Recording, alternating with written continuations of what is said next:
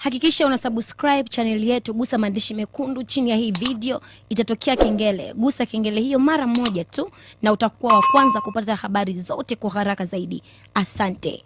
Hata enzi za Yesu mbili zilikuwepo za serikali, kwa sababu tunajua sote historia ya bwana Zakayo. Zakayo aliitwa ni mtoza ushuru na alikuwa anafanya kazi serikalini, ni ushuru wa serikali, ndio hizi bili za leo. Haleluya, yeah. Na hata Yesu wakati ameletewa kon, ameletewa sarafu, alisema mpeni Mungu yaliyo yake na Kaisari yaliyo yake. Ina maana hata kwenye mapato yetu yako mapato ambayo lazima yaende kwa serikali na yako anayokwenda kwa Mungu. Watu wengi kweli tunafika kulalamikia bills. Ishu kubwa ipo kwamba tumeishi maisha ambayo hatukuyatarajia kulingana mazingira ambayo tumetokea baadhi ya watu. Alikuwa hajawahi kusikia neno kodi au hajawahi kusikia neno ushuru. Sasa leo ndo amekuja kusikia kodi, ndo amekuja kusikia nini? Ushuru. Kwa hiyo lazima aone kama ameonewa. Kitu ambacho tunaweza kukiongea, mimi nikiwekee kabisa, nikikoleze rangi. Hakuna siku itatokea kwamba kulipa bili kutaisha, akutaisha Watu wajue hivyo. Tulalamike, tusilalamike, akutaisha Hata nchi zetu tulikotoka Afrika, tunakotaka maendeleo yawepo. Maendeleo yanapozidi kuongezeka kwenye nchi zetu zilizotoka, pia bills ndivyo zitaendelea kufanyeje? Kuongezeka. Lakini kuna kitu ambacho watu wanatakiwa wakielewe, kitu ambacho kinafanya watu wengi wakandamizwe na bili kuliko wao kukandamiza bili. Sasa tuwaambie tu kwamba unawezaje wewe kumiliki bili kuliko bili kukumiliki. Hichi ndio kitu ambacho mtu anatakiwa apate hii elimu. Ninawezaje kumiliki bili, si bili kunimiliki, kwa sababu bili ikikumiliki maana yake utalia mpaka utazeeka. Hicho kiliwa eh, na shukrani za Mungu eh, hazitakuwepo mpaka utakufuru, kwa sababu bili zimekumiliki. Ila wewe ukizimiliki, basi utakuwa na unafuu na afueni, utaona ni kitu cha kawaida. Unawezaje kumiliki bili? Kuna njia mbili ambazo ni kubwa sana ili mtu amiliki bili, yaani wewe uzidominate bili ziwe chini yako. Njia ya kwanza ni kujiepusha na luxury life ama competitive life, yaani yale maisha, kujiepusha na maisha ya ufahari.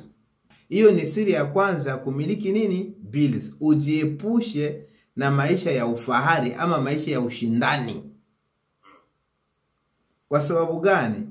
Huko tuliko kuna watu wananunua magari, hanunui gari kwamba anahitaji gari Aa, ila ananunua gari ili aonekane ana gari zuri. Okay. Kwa hiyo hapo ameingia kwenye maisha ya thamani, maisha ya, ya fahari, yaani anajilazimisha kuingia kwenye maisha ya fahari. Kwa hiyo unaponunua gari ili uonekane una gari ya fahari, maana yake pia umekaribisha bili yako iendelee kuwa kubwa. Utajikuta umeanza kununua mafuta gas kwa hela kubwa, ilo gari umeanza kulilipia kwa hela kubwa, lakini ile siti moja utakayokalia ndio hiyo itakaliwa na mtu mmoja, pamoja na kwamba na mafuta yake yaongezeka. Unaona huko eh?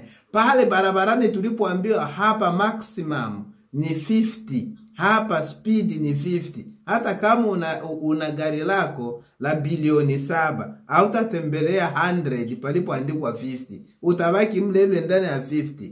Na mimi niliyenunua kwangu ya dola dola elfu tatu, sisi wote tuko sawa sawa. Sasa unakuja kujiuliza sababu ya kununua hili gari ni nini? Kwa sababu wewe unafanya nini cha ziada humu barabarani kunizidi?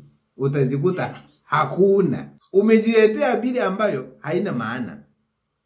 Lakini pia kuna kitu kingine kwa upande wa, wa, wa apartment. Hizi apartment tunapanga, hizi nyumba za kupanga, yaani huku tuliko yako maeneo tofauti tofauti, mitaa tofauti tofauti, ni sasa na kununua nyumba ziko bei tofauti tofauti kulingana na eneo moja na lingine. Hata sehemu za kupanga na zenyewe bei za nyumba ziko kutofautiana eneo na lingine. Hata tulikotoka manyumbani kwetu, unavyoweza kutafutia nyumba Mikocheni ni tofauti na Buguruni. Msasani ni tofauti, ni tofauti na Mwenge. Sasa wewe unaona kwa sababu sasa mimi unajua sasa najua unataka upangi nyumba ili watu wakiingia mwaka wa fulani ana nyumba ndo anaishi Ulaya kabisa, usifiwe na watu. Aa, unatafuta namna bili zikukandamize. Hiyo namna sio nzuri. Panga nyumba ambayo itaendana na bili utakazozikandamiza. Katika uchumi, wataalamu wa vitabu wanasema kwamba unapopanga nyumba yako ya kuishi, hakikisha kwamba hiyo nyumba yako ya kuishi, kama unailipia kwa mwezi, basi chukua peni, weka chini, tafuta nyumba yako ya, mwe, ya kulipia kwa mwezi isiende zaidi ya asilimia thelathini ya mapato yako ya mwezi isiende zaidi ya asilimia thelathini ya mapato yako ya mwezi, nyumba yako ya kupanga. Ndivyo anavyosema na uchumi. Kwa hiyo asilimia thelathini ya income yako ya mwezi kushuka, ehe, hapo ndo nyumba unatakiwa kupanga, ila watu hawaangalii hilo. Unakuta miezi wiki mbili anatumikia nyumba, wiki mbili ndo sasa umeshaenda vibaya, bili zitakukandamiza. Hilo ni moja, lakini pia sababu ya pili inayovuruga bili mpaka zitukandamize na tunaweza kujiepusha nayo pia ni income planification, mipango na matumizi ya kipato chako. Yeah. Mipango na matumizi ya kipato chako. Unajua tuna mahitaji, walio wengi hawajui kununua vitu. Wengi wanunua vitu wanavyovipenda, lakini sio vizuri. Unatakiwa uwe unanunua vitu unavyovihitaji. Kuna tofauti kuhitaji na kupenda. Mfano, mtu una koti thelathini, una koti arobaini, koti ishirini, maanake wewe hauhitaji koti hmm?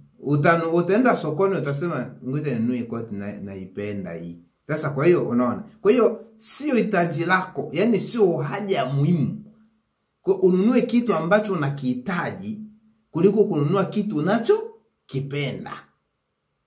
Alafu kuna kitu kingine, unapoishi lazima ujue kupanga priorities, yani vipaumbele katika hela yako.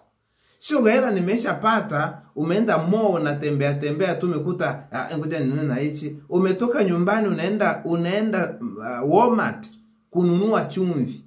Umetoka nyumbani, ngoja niwahi kununua niende kununua chumvi, lakini ulienda kununua chumvi, kurudi umerudi na kapu lote limejaa. Unapoenda sokoni, unajua hivi naenda kununua kitu fulani, kuliko umeshafika mle, weni kubeba beba na, na kokota, weka kwenye kapu, weka weka kwenye toroli, weka weka, we, Ah, ulivipanga hivyo utajikuta unatumia fedha tofauti na mipango yako. Ukishalipia inaondoka. Kwa hiyo lazima mtu uwe na vipaumbele katika kununua kununua vitu vyako, hata kutumia ndugu Afrika tulikotoka, Tanzania, Burundi, Uganda, Kenya, Kongo, wapi, weka vipaumbele. Gharama hipi ni muhimu. Hata kama unajenga, weka vipaumbele. Je, huu ndio wakati wa kujenga au nisubiri baadaye? Haya ni mambo ya kiuchumi. Je, huu ni wakati wa kujenga au ni wakati kwanza wa kufungua miradi? Nifungue kwanza mradi au nijenge kwanza? Unaangalia kipaumbele ni kitu gani. Hiyo ni plani ya ili bili zisikandamize. Lakini pia kuna jambo lingine tunaleta kwenye uchumi, kuwa na reserve account namba kumi na moja kwa watu waliosoma mambo ya, ya business administration. Reserve always, lazima unapopata pesa yako toa asilimia angalau kumi au kumi na tano ya pesa ambayo sio ya matumizi. Hiyo inaenda tu reserve, kwamba iko hapo, haitatumika, iko hapo kwa ajili ya akiba. Kwa hiyo unapokuwa ndani ya nyumba yako kila mwezi unapopata pesa, lakini unajua kuna kuaga na pesa ambayo iko pale ya akiba haitumiki, utakuwa unachungulia kwenye akiba kuna ngapi? Dola elfu saba pale. Kwenye akiba kuna ngapi? Dola elfu kumi pale. Au utaogopa maisha. Ila sasa shida inakuja, unapeleka hela yote mpaka ndani mwako hamna hela hata moja, ndo nakuwa na Ona, kitu cha msingi hapa ninachoweza kushauri mtazamaji wetu ni kwamba bili hazitakaa zikatike, zitaendelea kuwepo na labda siku zinazokuja huko mbele zitaendelea kuzidi kuongezeka. Jambo la msingi ni sisi kwanza kumpendeza Mungu katika mapato yetu.